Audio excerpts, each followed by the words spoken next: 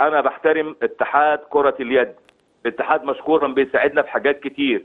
فهذه المشكلة لازم يساعدنا أكتر وأكتر. لازم يقف في ظهرنا. خلاص؟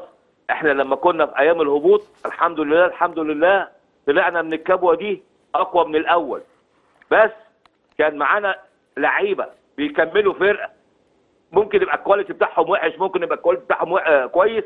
دي مش مشكلة المهم قعدنا في الدوري.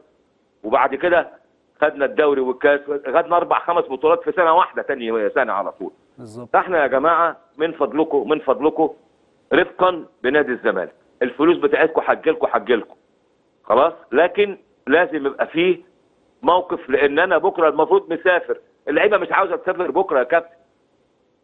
يعني قال لي طب خلينا بقى في مصر لحد ما الحل المشكلة تتحل ونروح نلعب سباحه في نفس اليوم ونرجع.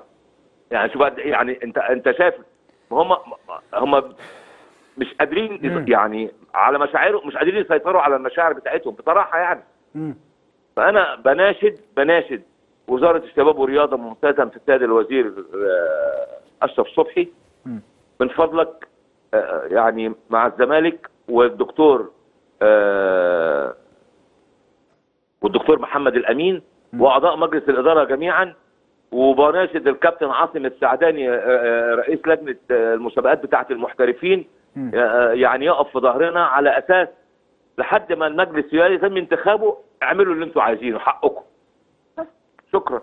رسالتك واضحة يا كابتن حماده. أنا بشكرك جدا لتوضيح كل الأمور دي لجمهور نادي الزمالك ورسالتك اللي وجهتها للوزارة. وزارة الشباب والرياضة متمثلة طبعا في آه، معالي الوزير الدكتور أشرف صبحي الأستاذ محمد الأمين آه، رئيس الاتحاد المصري لكرة اليد. رفقا بنادي الزمالك زي ما قال كابتن حماده.